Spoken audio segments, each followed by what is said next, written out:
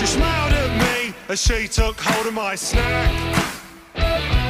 She put it in her mouth, I nearly had a heart attack. I couldn't put up a fight, knew it was love at first bite.